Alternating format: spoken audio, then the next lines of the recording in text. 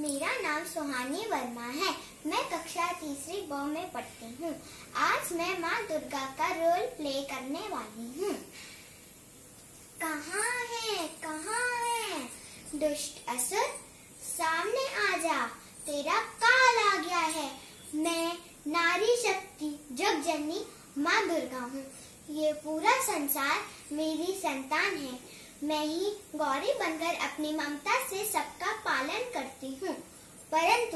जब जब दुर्गानव के अत्याचार बढ़े हैं, तब तब मैं उनका काल बनी हूँ। असुर, तेरे पापों का घड़ा भर चुका है। मैं तुझे मार कर इस दुनिया को तेरे आतंक से मुक्त कर दूँगी।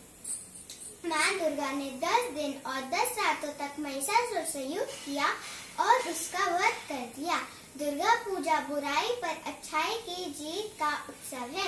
इसलिए यह उत्सव बड़ी धूमधाम से मनाया जाता है। धन्यवाद।